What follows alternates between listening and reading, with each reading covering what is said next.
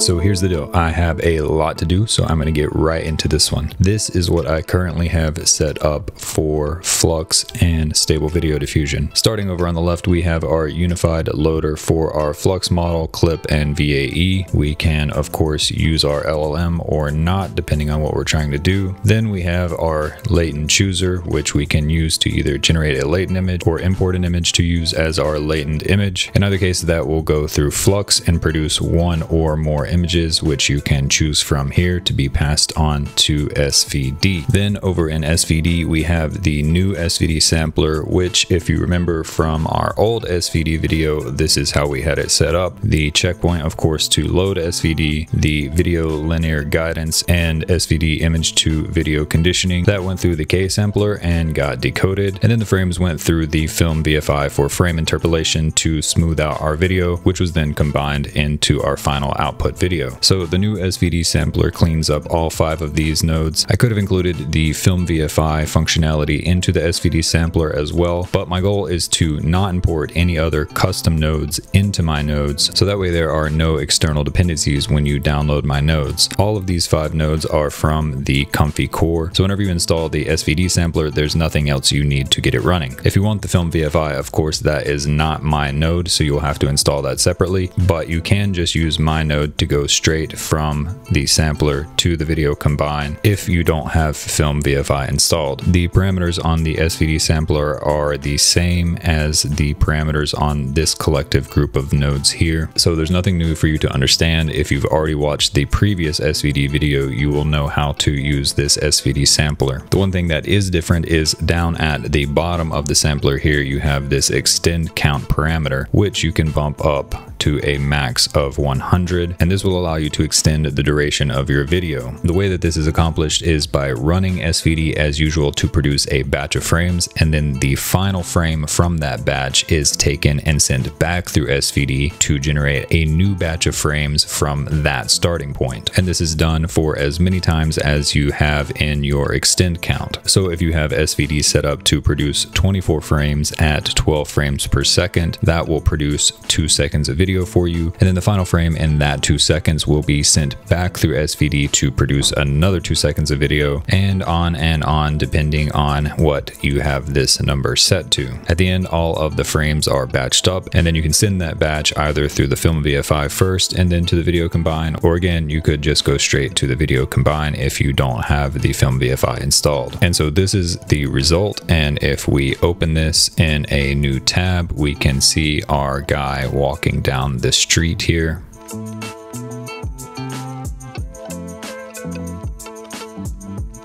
And of course, you'll notice some problems. If I drag this slowly across, you can see that the first couple of seconds are pretty good. And then right at the halfway mark here, we can see that there is a change in the quality. The second half of the video does indeed pick up where we left off on the last frame of the first video, which is a pretty nice success, but the coloring is degraded. And right in here, there is a little stutter. And so what's going on here is that the initial frame produced by Flux is of course a really high quality image and SVD is able to do a pretty good job job with that, but inevitably the frames produced by SVD are not going to be the same quality as the initial frame that was produced by Flux. So by taking the last frame of the SVD generated sequence and using that to generate a subsequent sequence, SVD doesn't have nearly as good of a starting point as it did with the initial frame that it got from Flux. And so the quality of the subsequent sequence is degraded. Obviously that is a problem, so I thought to myself, what if we take take the last frame of the SVD generated sequence and send that back through Flux for processing to produce a new high quality frame for SVD to start with on the second sequence. And then I thought to myself, why stop there?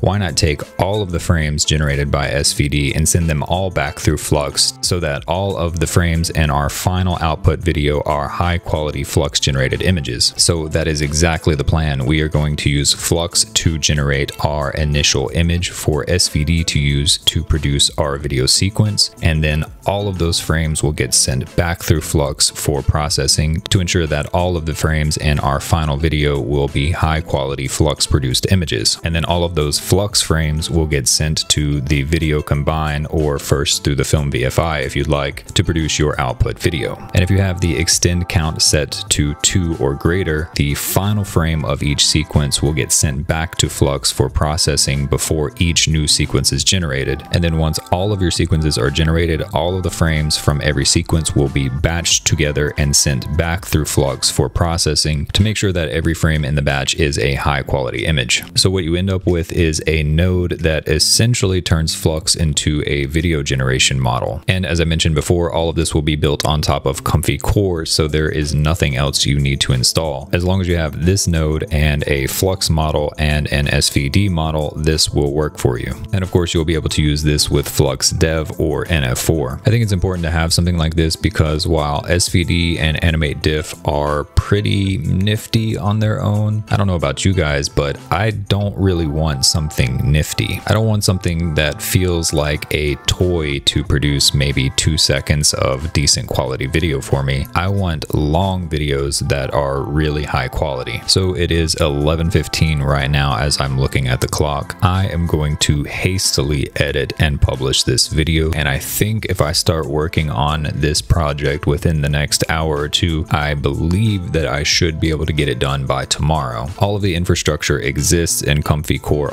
already, it just needs to be packaged in a way that's useful. So I'm going to cut this one here and get to work. Make sure to like and subscribe if you are not already and share the video with anyone you know who might find it interesting. I should be back with some very good news for you guys tomorrow, so I will see you then. Take care.